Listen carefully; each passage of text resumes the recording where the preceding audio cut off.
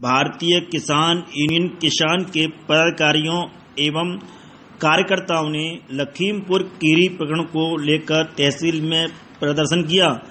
प्रदर्शन के बाद कार्यकर्ताओं एवं पदाधिकारियों ने एसडीएम नवनीत गोयल को राष्ट्रपति के नाम संबोधित ज्ञापन सौंपा।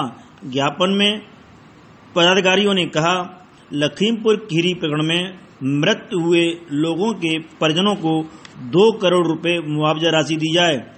वहीं मृतक परिवारों के एक सदस्य को सरकारी नौकरी दी जाए। दोषियों को सख्त सजा दिलाए जाने की भी मांग की गई। क्या घटना हुई है?